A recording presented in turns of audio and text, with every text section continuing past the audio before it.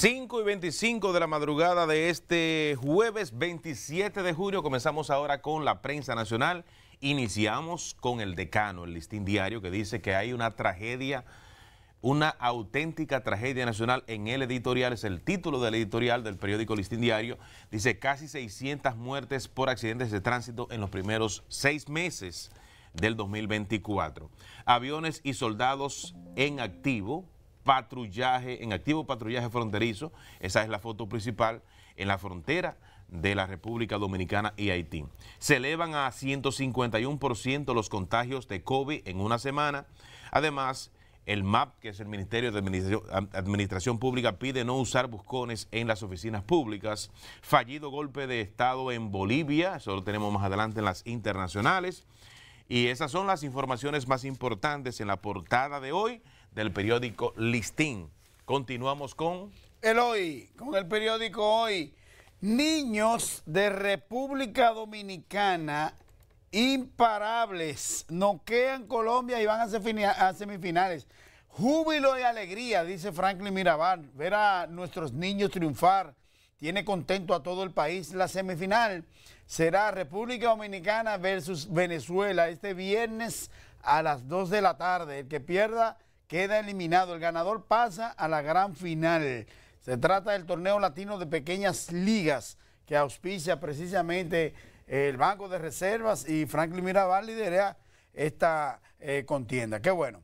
Mayo economía crece 4.3%, de enero a mayo sube a 4.9%. La economía dominicana creció durante el mes de mayo en 4.3% y durante el periodo de enero a mayo llegó a 4.9%, informó ayer el Banco Central de la República Dominicana. El gobierno dominicano repudia intentos de golpe de Estado en Bolivia en el almuerzo del Grupo Corripio de Comunicaciones. Corripio hace falta una legislación más contundente para perseguir y sancionar los delitos contra el medio ambiente, dice el prestigioso economista y ministro, de Medio Ambiente y Recursos Naturales, Miguel Seara Hatton, que dice que también es de primer orden la educación y sensibilizar a la gente sobre la importancia de proteger y cuidar los recursos naturales. También la corrupción, señor Seara Hatton.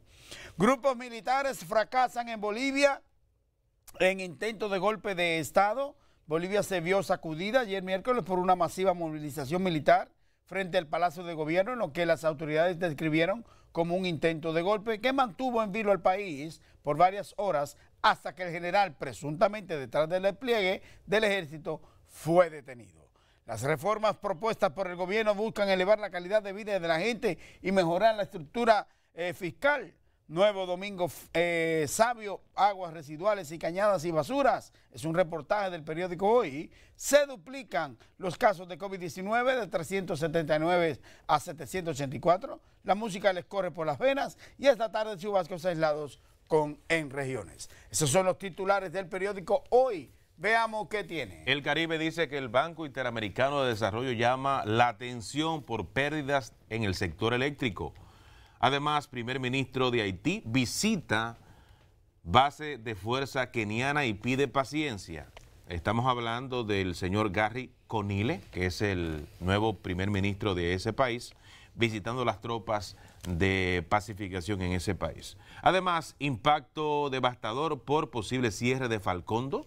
80% de la población acepta vacunar a menores en la República Dominicana. Banco Central dice que la economía crece en un 4.3% en el mes de mayo. Preocupa en Santiago aumento de eh, mujeres en drogas y ocho fechas claves en las que vencen los periodos órganos extrapoder.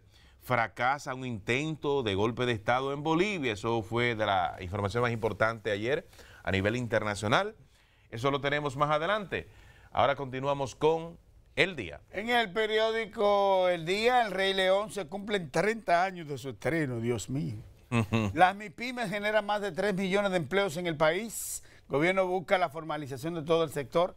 En foto de portada, fracasa Bolivia, golpe de Estado. Un tanque con militares fue lanzado ayer sobre las puertas del Palacio en Bolivia tras repudiarse la destitución del comandante del ejército y se pidió nuevo gabinete, pero después se retiraron en un intento de golpe de Estado que fue rechazado.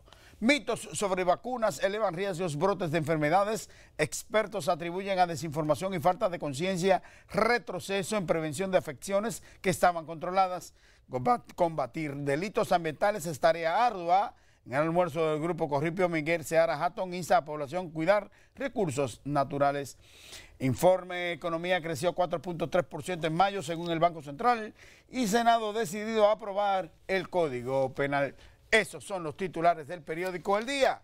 Veamos qué tiene. Diario Libre que dice que el Código Penal vuelve a la palestra pública en el Senado. Aprobación en primera lectura trae nuevos cuestionamientos y exime a la iglesia o a las iglesias de responsabilidad penal. Corrupción prescribe. Intento de golpe de Estado en Bolivia, en las internacionales. ¿Por qué sectores piden eliminar las pruebas nacionales? Además, diputados no han reportado sus gastos. Elía, hable con Pacheco. Funcionarios incumplen ley de libre acceso.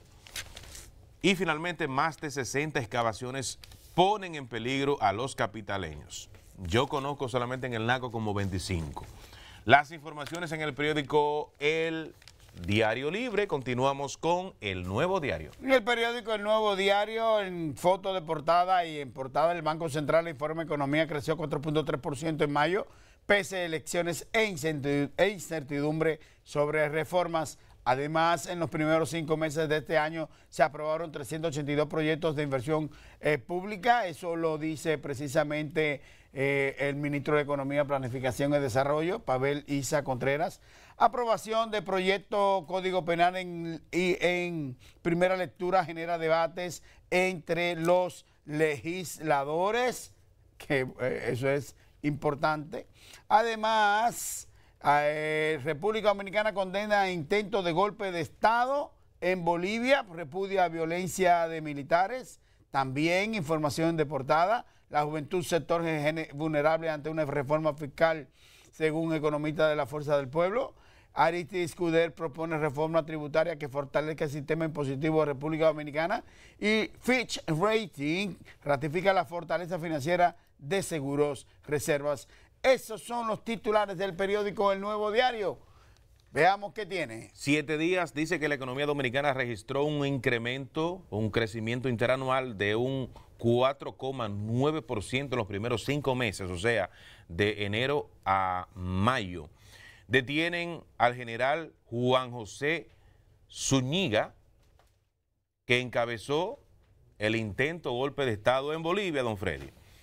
Esas son las informaciones más importantes en la portada del 7días.com.de. Ahora sí concluimos con proceso. Proceso. Líderes mundiales condenan movimientos militares en intento de golpe en Bolivia, padres favorecen eliminación de pruebas nacionales y realización de pruebas profundas a profesores. Además, abogados Oye esto. O sea, que no, que no evalúen a los estudiantes, sino a los profesores. Albarazo. Abogados aplauden aprobación nuevo código penal. Yo conozco gente que para que sus hijos no cojan la prueba son capaces de cualquier cosa.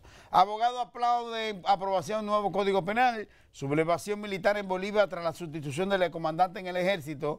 Golpe de Estado desde Asamblea OEA en Paraguay. Almagro se solidariza con gobierno boliviano y condena acciones del ejército. Y con farmacias del pueblo vacías el gobierno anuncia para septiembre inversión superior a mil millones de pesos en medicamentos, también para hospitales. Economía dominicana crece 4.3% en mayo, acumulando una expansión promedio interanual de 4.9%. Lo chulo del caso es que el hombre este de Farmacia del Pueblo aspira a, a la presidencia. Esos son los titulares del periódico proceso.com.de. Nos vamos a una pausa comercial. Venimos con deportes e Inter nacionales.